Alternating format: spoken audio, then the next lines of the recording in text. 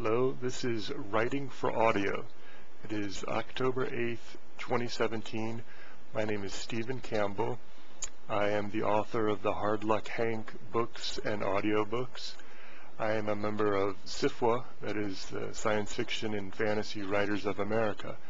This video is primarily for professional and semi-professional writers uh, in SFWA who want to write for audio or convert their books to audio or just explore that uh, avenue. Um, I'm not going to talk about much else except for writing for audio, but hopefully it can be of some use to you. Um, first, to dive right in, get yourself some text-to-speech software. Um, you'll hear so many errors that you don't see.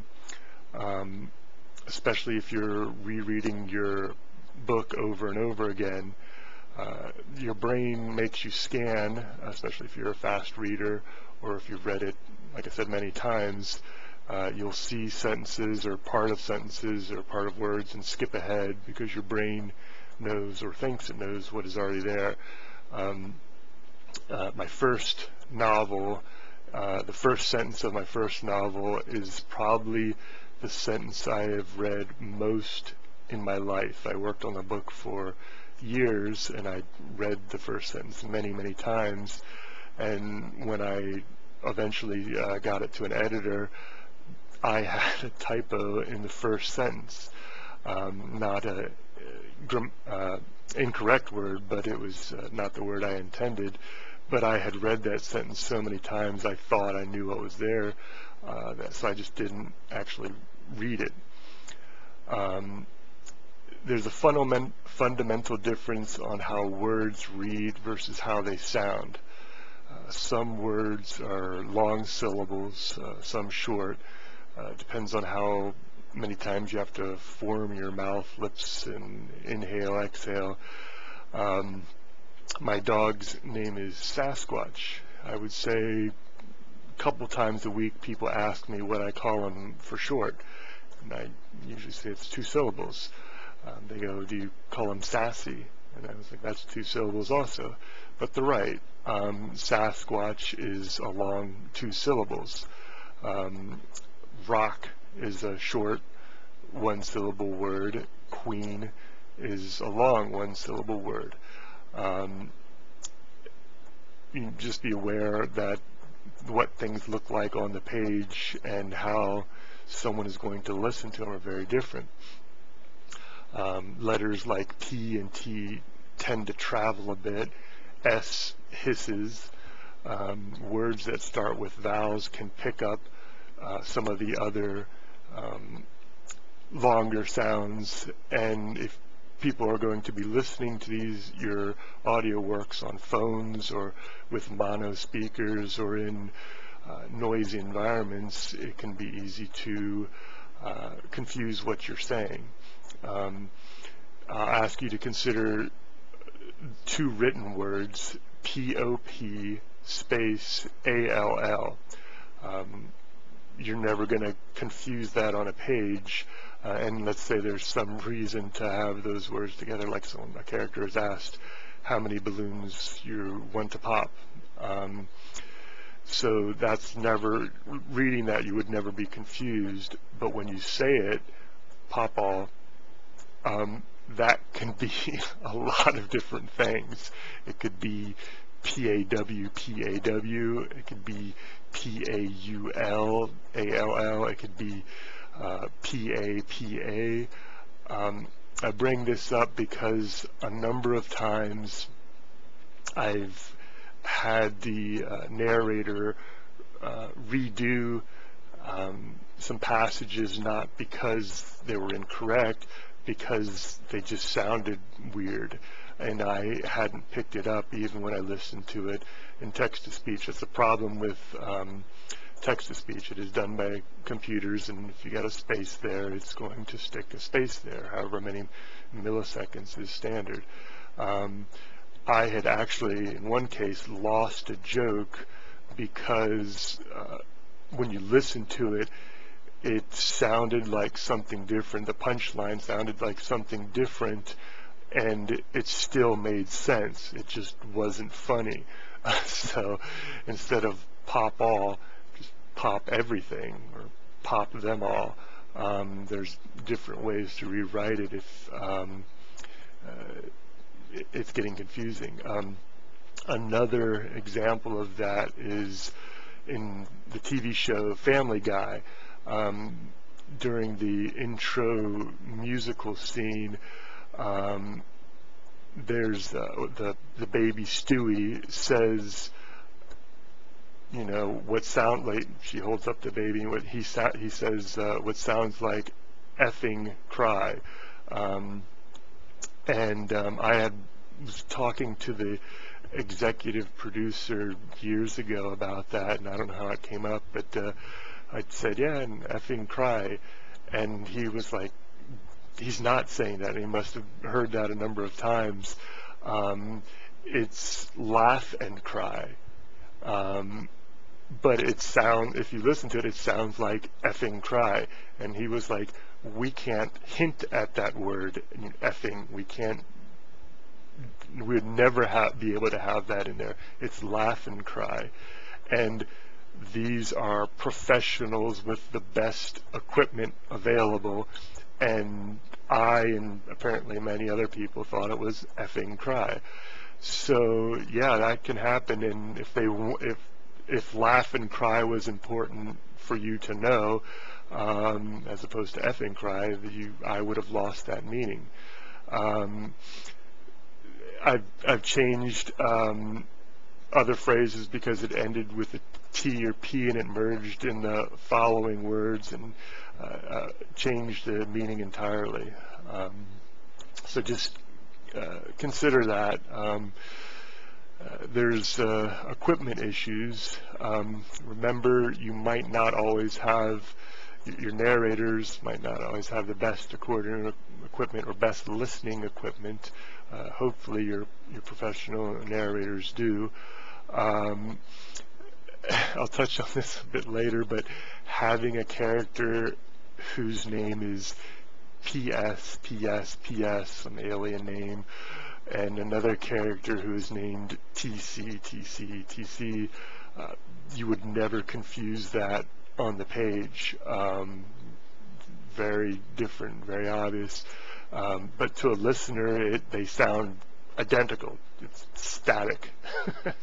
so again, I'll get into that later. But um, uh, literary versus understandable. Um, I love uh, flowery, proficient writing. I ad admire it. Um, you hear a great phrase and you carry it around with you. Um, and you appreciate the English language and the author's skill for coming up with those um, phrases, but they're different when you're listening to them. Um, semicolons, convoluted sentences. Um, this is a big difference uh, in audio versus uh, uh on the page people can reread passages over and over again. Um, I think the likelihood of people reversing in audio to re-listen to something is a lot less than the number of times you can just skip around or uh, skip back and say you didn't quite get that word or the meaning of that sentence. Um, I was reading a, physics book that was supposedly for lay people um, years ago, and I'm staring at some gigantic paragraph, and I can't understand the rest of the chapter until I figure out this paragraph. And I was um, taking pillows out and putting objects on them, trying to make sense of what this brilliant physicist who was a terrible writer was trying to explain to me. Um, and again, I could do that. I could stop and make uh, 3D demonstrations of trying to understand this run-on. Uh, I think it was a sentence, but it was half a page or something. Um, and people are just, you know, this recording is going on and they're probably not going to stop and go back.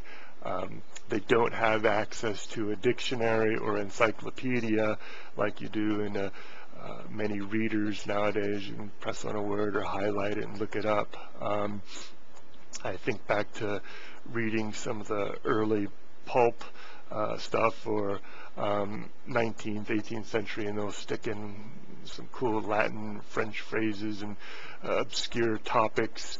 Um, and um, maybe you can carry that with you, or you can certainly look it up nowadays. But it's harder to see someone taking off their earphones, getting up, going, writing it down, going to the computer, and, and looking up what you're talking about. um, so keep that in mind. Um, alliteration really sounds bad and obvious. Um, uh, the book belongs back on the bed, Barney. If someone said that in real life, they're going to go, haha, or, you know, it's going to be a joke. If someone regularly talked in alliteration and never pointed it out, you'd think they're a freak. it's really strange. Um, if I said, you know, book belongs back on the bed, Barney, the Barney is going to stop and say, "Did you did you mean to do that? Or you just really weird?" Um, so again, the, I, I, put in uh, alliteration in my writing, and it's I do it to be goofy. I do it to be look at this. This is silly, um, but it does stick out. Um, it's easy to repeat words in your writing, um, especially if you pick up uh, in a chapter, um, you know, you went halfway through, and so you reread to get back in the uh, mood and bring yourself back up to speed. And it's easy to repeat words. Um, and it's not as noticeable on the page, in my opinion. Um, I was just reading something uh, a couple days ago, and it, it wasn't an incredible word. So I say it was incredible. Um, I think within two sentences, um, they might have been the same sentence. They used the word incredible. Um, and I noticed it. Um, incredible isn't $10 word, inflation. Um, but uh, people do pick up that. But when you say it, when you hear it, it I think it really hits home a lot more. Um, if I say it's sacrilegious to write an audiobook like that, um, and another a sentence later say, and it's sacrilegious to not write an audiobook like this, people are going to go, did, did, he just learn that word? Why, why is he saying sacrilegious so much?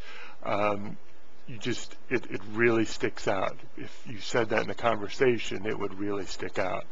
Um, so be aware that um, repeating words, uh, even on the same page, if they are like sacrilegious or uh, little more uncommon. I I had a um, I think I said uh, at one point I, instead of he said she said I had uh, the character sneezed like I he just uh, um, I, I, wanted him to kind of spit out that uh, phrase, and I think I used it again within a couple pages, and I was like, well, is, I got to get rid of this. Um, why is he sneezing? Um, uh, word echoes. Um, my editor spots these a lot. Words that sound similar can be really clunky when spoken. Um, it doesn't have to be alliteration. You say have something like show, show the boat the flow of growth, something like that.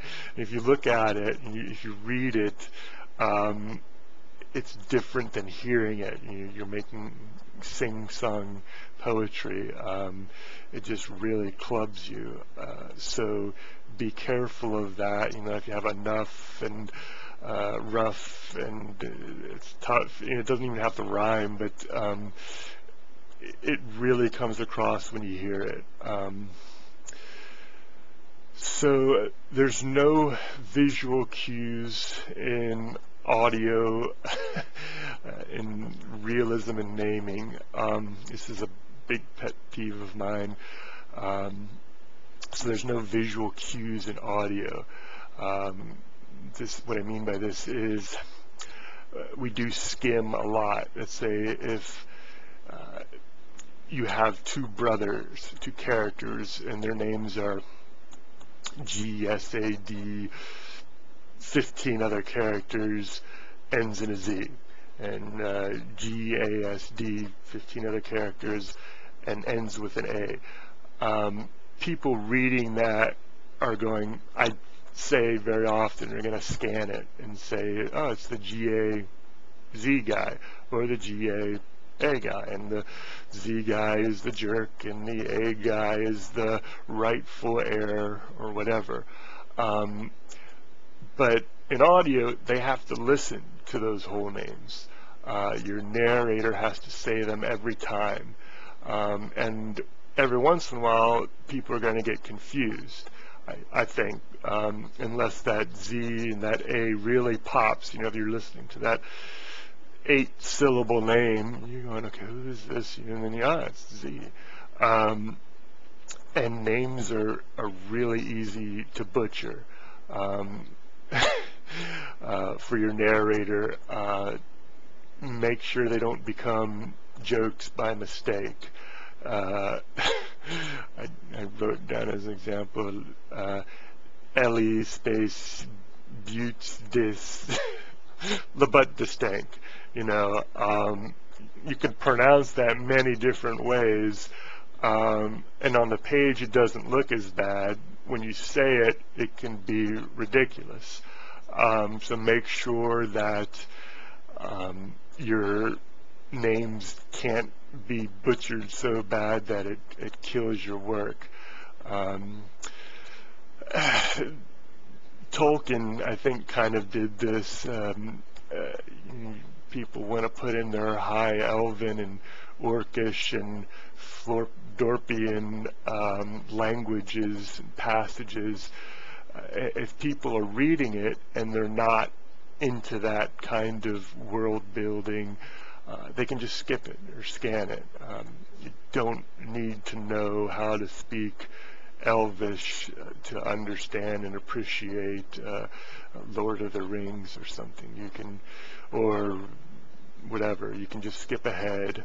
But in audio, you can't skip it. There's no visual cue to see italics in some giant format and go, eh, I'm going to go to the end of that. So you got to sit there and listen to it, and it's going to turn off potentially some listeners. Uh, so be careful with that. Um, and in general, uh, about the confusing uh, names and uh, languages, I ask you to uh, consider a, a, very successful science fiction series and how they did alien names. Um, some of the names they used were Vulcan and Klingon and Romulan and Borg.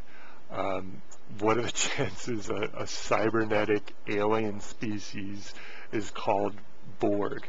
Uh, it was the first race they assimilated uh, cavemen or something. Uh, but you don't really think about it. Um, and it works. You don't have to have 30 character names to be realistic, you know, to make it alien. Um, in my, again, it's a big pet peeve, uh, which is why I'm going off on it, but it's no more realistic that an alien species would have a 30 syllable name than a three syllable name. And chances of completely alien species having the same vocal cord structure as us, the same hearing structure as us, it seems really remote to me. They might communicate with ultra red or uh, infrared uh, blinks or dragons shifting their wings around. Um, as opposed to just really long names.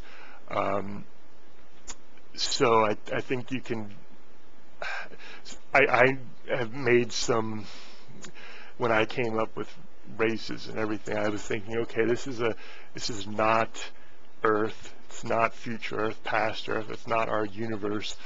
Somehow they're I am translating this um, into English for the readers. Um, so make it easy. I mean, even if you go on our planet, you have languages where they don't have the L, the letter L, or they trill their R's, or they have umlauts, or they breathe in to make sounds. But it seems like our go-to for alien complicated uh, or you know elvish or orcish is just long. We just make our words long. Um, uh, I'd say re even reading like uh, Chaucer from 700 years ago is very difficult. Um, yet a 10,000 year old dragon speaks perfect modern English.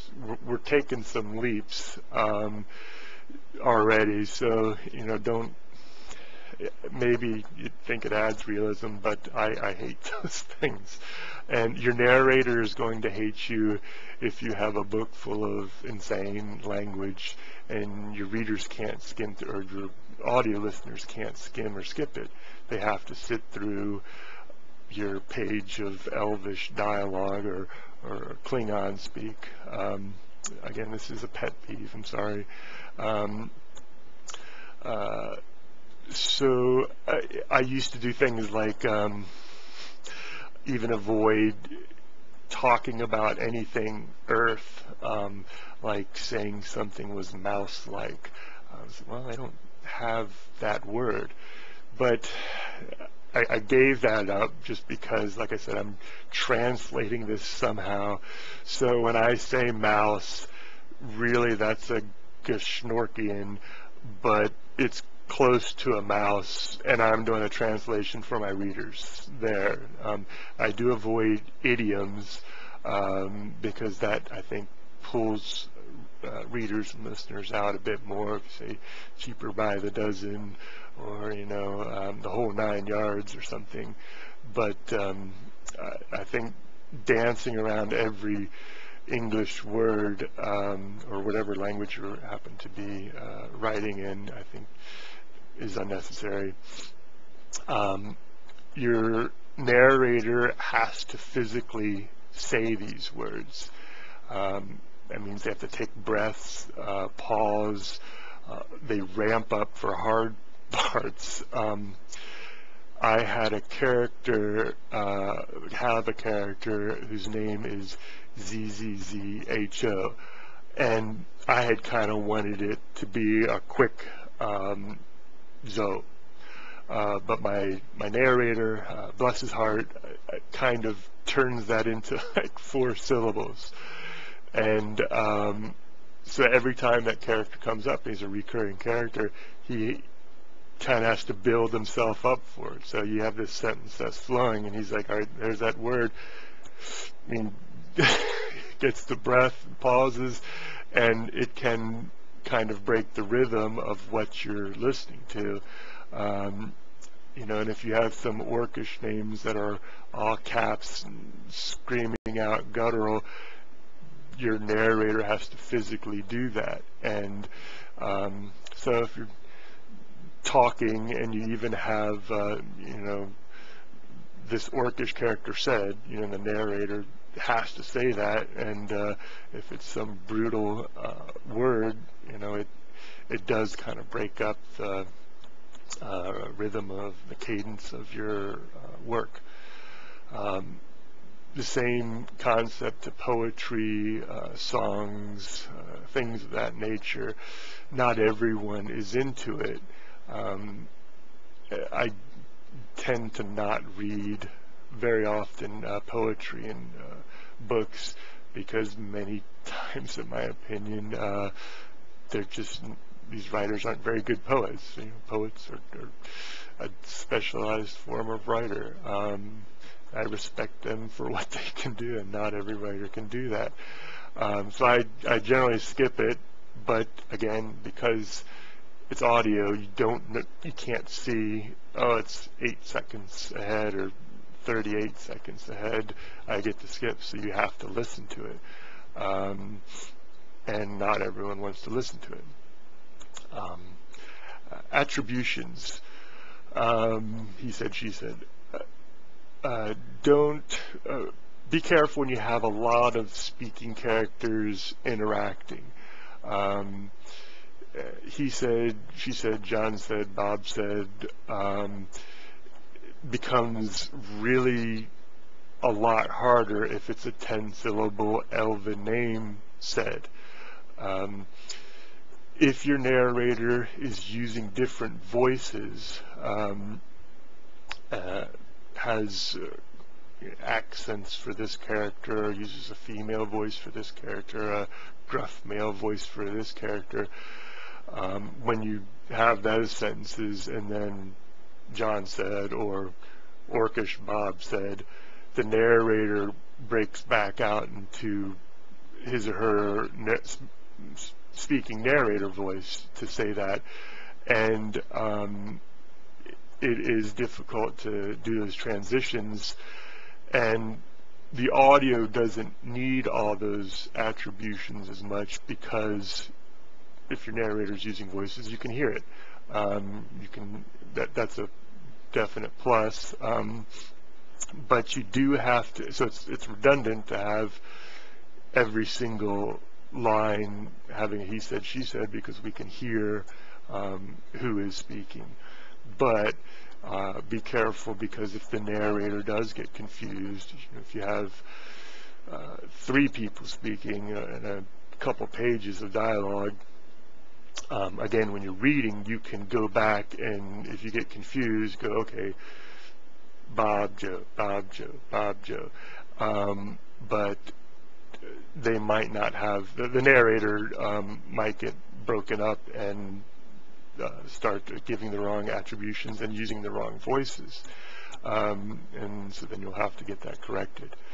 Um, don't have, for that reason, don't have the same characters speak multiple lines in a row without attribution or you're going to confuse your narrator. Um, the narrator, don't assume the narrator is really reading for enjoyment um, your book uh, or books, work, whatever. Um, they're doing the characters, they're, they're, pursuing it in a different fashion. Um, so if I'm ever concerned that the narrator is going to be confused, I make sure to have something there. This is really important if you have recurring characters um, and someone comes back from a hundred pages ago, the narrator might not know that or might not remember that because again, they're viewing the book differently. Um, books, audiobooks can be like nine hours, um, 10 hours, 12 hours, whatever. There, there's going to be mistakes. Um, always proofread what your narrator turns in um, and I haven't mentioned this yet, get these. Um, in addition to using voice, uh, text to voice, using these is, is very uh, powerful. You got your speakers a half inch from your ear, you cancel your ambient noise. Uh, it's very, very helpful. Um, if your narrator uses voices, be aware they only have so many voices. If you have 150 speaking characters, they're not going to have 150 different voices. No one has that many voices. Um, consolidate some of these uh, speaking parts if they aren't needed or you're going to have voices repeated over and over again and they're not going to be distinctive. You're going to burn your narrator out he or she might not remember um, the voices they've used already in the book. Um, so yeah, I, I, did say put in clues that this is the guy we met back at the airport. um, or whatever. If you have to create a, a complicated Bible to give uh, to a narrator so that it can properly do your book, it's probably too complicated. Um, unless you're a top tier author paying your narrator buku bucks, narrators have a lot of jobs to do and they get paid to do this and they got to make a living and spending six months on your book uh, probably isn't that profitable. Um, your book should be the script. It should be the only script that a narrator needs to properly produce your book. That's my opinion. Unless something's absolutely necessary, um, like you have a, a confusing uh, alien name and you want to make sure that's known because it matters. Um, but uh, I, I generally try not to turn in anything in addition to the book. Uh, it should be enough. Um, for audio, people are often multitasking. Uh, I get this a lot. People say I help them on their drive or help them while they're working uh, my, my works. Um, so put in uh, reminders, um, not just for the narrator. It's good to have reminders of characters or incidents that uh, your readers or listeners might have forgotten because people listening to audiobooks are more distracted, I think, on a whole than uh, readers of uh, your books because um, and again, you, you, don't have the visual cue, uh, clues and cues, and you can't just go back, uh, what was this, uh, seven chapters ago to try and look up something. Um, so, um, it, you know, if a book, if your audiobook takes up 100% of their brain power um, to process what's going on in your audiobook, your listeners are going to drive off the road and kill themselves, and you just lost a, a potential customer. Um, there's distractions and noise they have to deal with. Um, they can rewind, but again, I think that's a lot more rare than reading. I, I read all the time, and my mind will wander or something. Just reread the paragraph. It's not a big deal. Um, I very rarely do that with an audiobook. Um, you just kind of forge ahead. Um, it's like a song, you know, and have great parts you like in a song, but if you're driving, you, it's I think it's rare that you go back 30 seconds to listen to that part again. Um, think about yourself driving. Um, there's my dog walking by, um, and uh, trying to make sense of uh, your own work and how difficult or undifficult it would be. Um, if you're unsure of some passages, um, put on some headphones and walk around your your home, clean up a bit, and see if you can make sense of it. You know, that's what I was talking about with the physics book, um, a layman's physics book, a layperson's physics book, and having to sculpt, uh, you know, teaching aids to get through it. Um, you might want people's undivided attention, but I want a pony in a rocket ship, and I can't always get it. Um, can't always get it.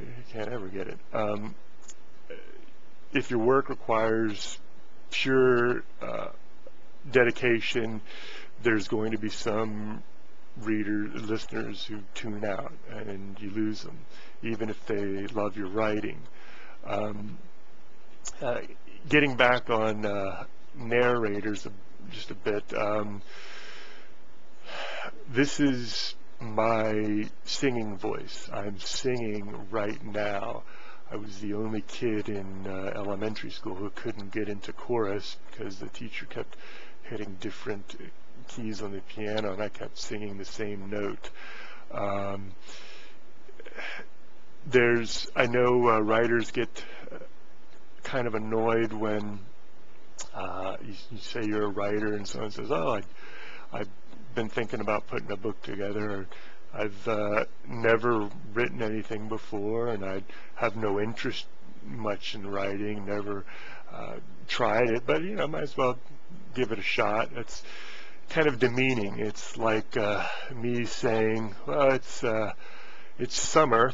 Um, uh, decided to try some brain surgery. Um, I've always been kind of interested in brains, and I, I got a brain, and uh, maybe just see how it goes, and um, do it part time, get a little extra money, and maybe I'll like it. You know, you get an expert to do things that are difficult. Um, uh, writing is difficult. You want an expert.